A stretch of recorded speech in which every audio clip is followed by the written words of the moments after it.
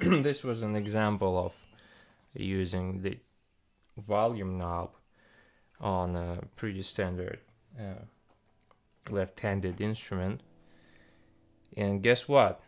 That was what you call the right-handed uh, volume knob, which in my opinion and in opinion many other people who actually use the knob is uh, the normal the normal volume knob which goes clockwise and it increases.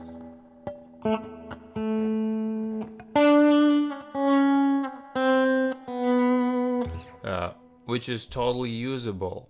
It's just use the opposite direction which is fine because you don't turn up your radio anti-clockwise. You don't turn up your heat oven anti-clockwise.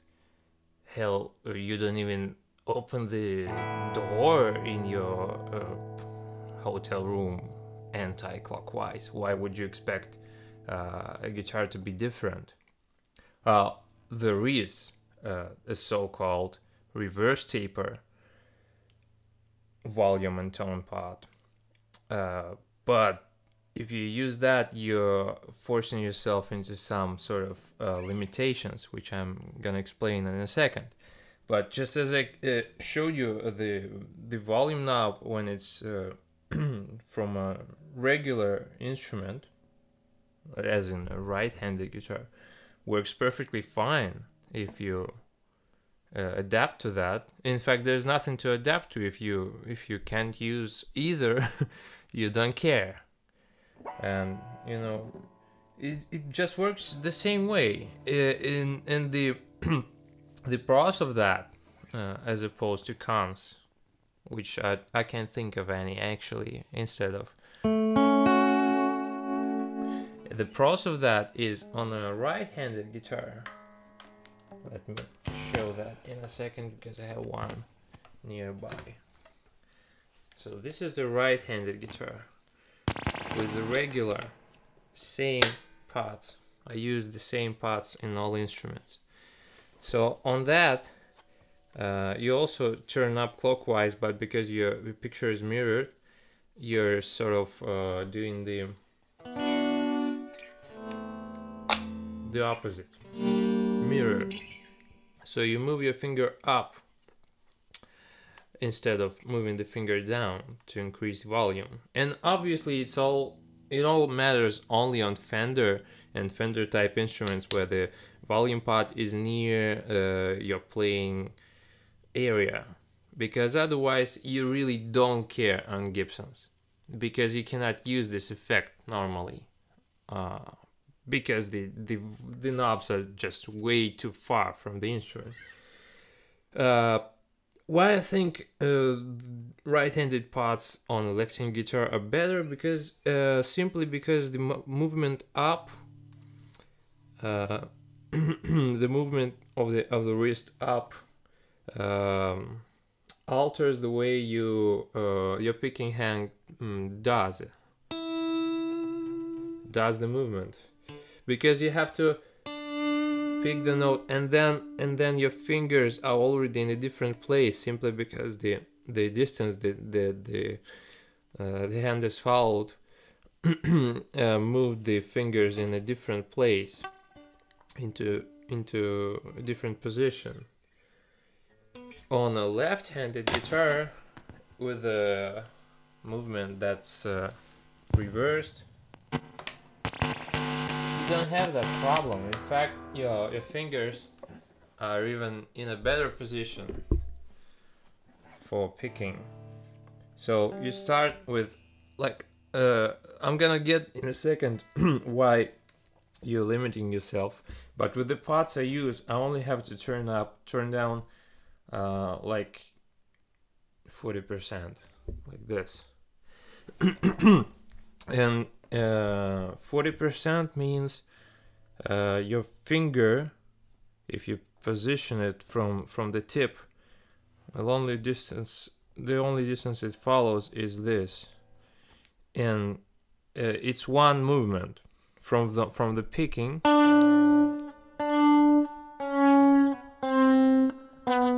I don't have to move my hand.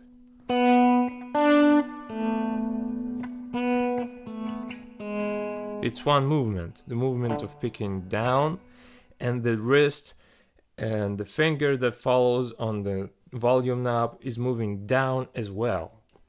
So this is very handy as opposed to right-handed guitar or a left-handed pot where you would have to uh, pick and then move up which really makes a lot of discomfort.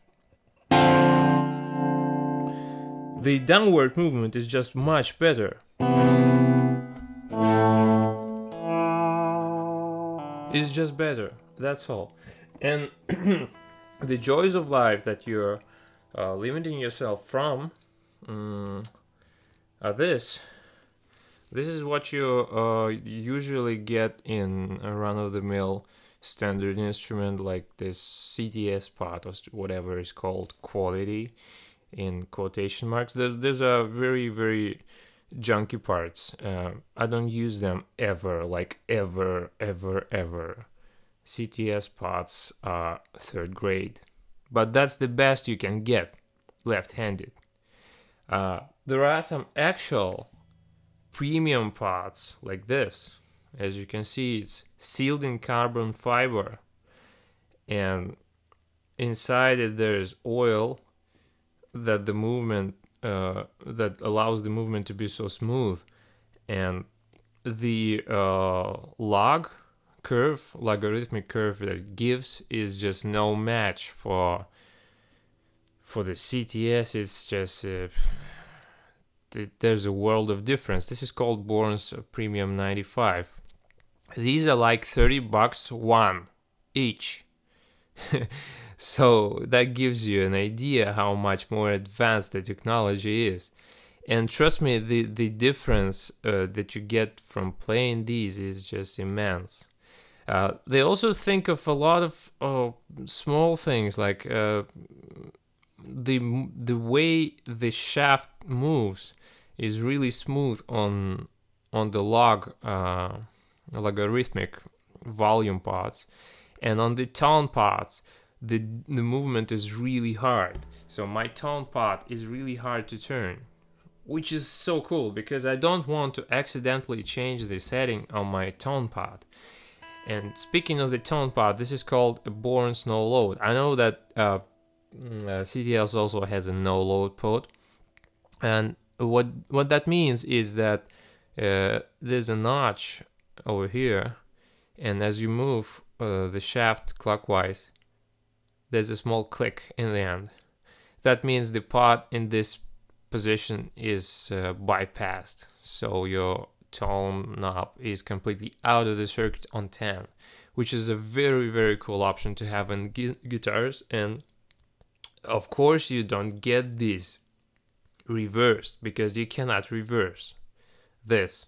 Something that has a 100% fixed as a bypass switch. Of course, you can only get these right-handed.